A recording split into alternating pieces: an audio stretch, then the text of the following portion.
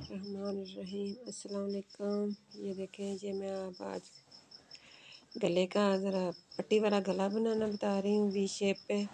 जो पट्टी मेरी शर्ट की साइड का गल बचती है, उसका बॉर्डर का ये मैं पट्टी बनाऊँगी।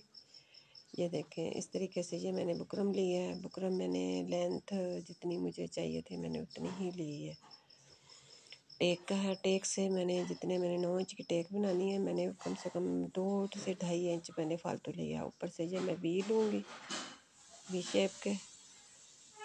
इसकी चौड़ाई जो आपने नॉर्मल तीन इंच की रखनी है, तीन इंच से एक पॉइंट कम ही होना चाहिए। ये देखें, ये मैंने नौ इंच पे लेंथ पे निशान लगा लिया है। ये हाफ़ इंच का मैं इसी तरीके से नौ इंच का लूँगी, खोलूँगी तो मेरा एक इंच का आ जाएगा। सॉरी हाफ़ इंच का ही लेना नौ इंच नहीं हाफ़ इंच लेना है आपने।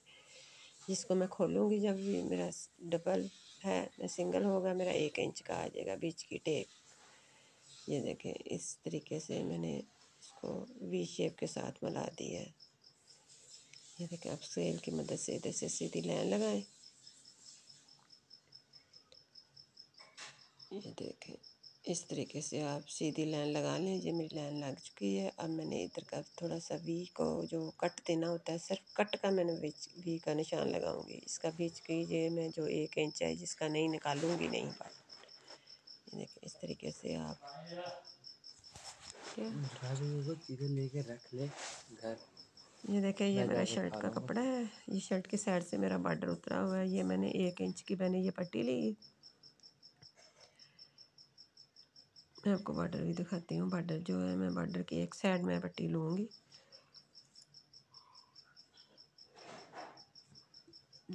सेंटर का गला। गले के भी मैं आपको दिखा दूँ ये देख, मैंने इतनी लेंथ ली है, मैंने नौ और छः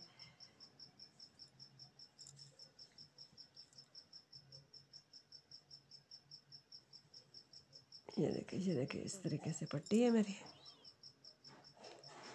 ये मेरा साइड का बॉर्डर जो उतरा हुआ था ये मैंने आपको दिखाया ये मैंने पट्टी इसको चिपका ली है इस तरीके मदद से। इसको मैं डबल करके अच्छी तरह आपको दिखाती हूँ पट्टी बना के।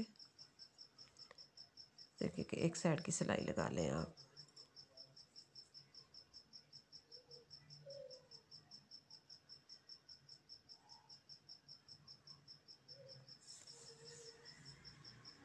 ये मेरी पट्टी बन गई। मैं दोनों किनारों पे इसकी इस साइड पे, उस साइड पे, दोनों साइडों पे मैं सिलाई लगा लूँगी। इसकी मैं ये कटिंग करती हूँ। ये इस तरीके से मैंने चिपका लिया शर्ट पे बुकरम। को जो पतला कपड़ा होता है, उसको बगैर बुकरम के लगाओ तो उसमें थोड़ा सा लचक कपड़े में होती है, वो नहीं सही बैठती। इसलिए आप बुकरम लगा लें, कोई फिर आउट नहीं होता हमारा। ये मेरा कपड़ा ज़रा बरीक था, मैंने पट्टी बनानी थी, पट्टी हार्ड थी। इसलिए इसमें ना सेट नहीं बैठना था, झोल आना था। इसलिए ये मैंने बुकरम पे आपको लगाना बता रही हूँ। रेशमी कपड़े पे भी आप बुकरम लगा लें। बुकरम लगा के ये हल्की सी मैंने इसकी गुलाई करूँगी इसकी। ये देखें, ये मैं गुलाई कर दी। आधी से, आधी इंच मैंने थोड़ी सी गुलाई करी है। जो बीच में कट लगाऊँगी। ये देखिए बीच शेप का मैंने कट लगा दिया। ये बीच का कपड़ा मैं निकालूँगी नहीं है इसका। बस कट लगाऊँगी। ये देखिए, इस तरीके से। अब कट लग गया मेरा। ये देखिए, इस शेप का मेरा गला बीच में भी फिक्स हो जाएगा मेरा पट्टी। ये